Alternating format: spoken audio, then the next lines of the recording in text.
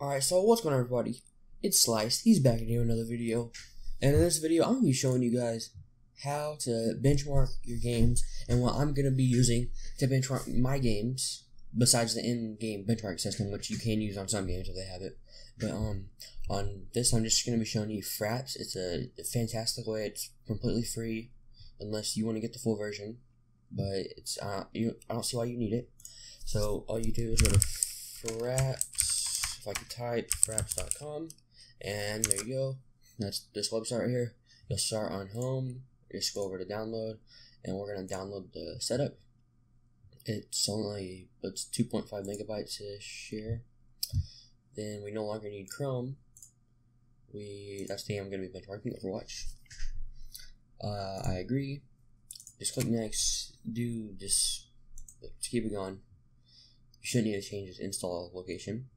Complete it and close. Now we have Fraps right here. Now we're just going to open it up. And let's open up Fraps. Alright, so finally opened up and it didn't take that long. But what I'm going to be doing now is we are going to go over, you can leave everything here, like fine.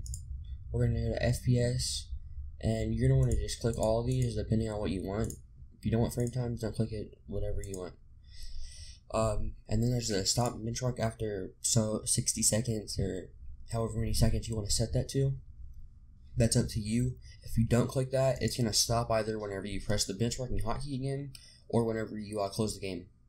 It's just going to stop that. I'm going to, and you can change the corner of the overlay here.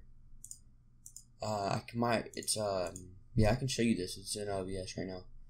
Actually, I'm not, gonna uh, you can change the corner of the overlay here and it just obviously changes what corner the overlay is, or you can hide it so it doesn't show up at all. The overlay you can disable with F12 and the benchmark key F11. So all we're gonna do is run Overwatch here. I tried to choose a game that wasn't gonna be too intensive. I am gonna be starting to post benchmarking videos on my channel. Alright, so we're back into the practice range. You can see the FPS counter up in the top right there. I can press F11, it'll start the benchmark, and the fraps counter, as you can see up there, turned to green, so it notifies me. Uh, we can just press F11 again, and it just spit out 115. I'm not sure what that means. That might have been my frame rate then.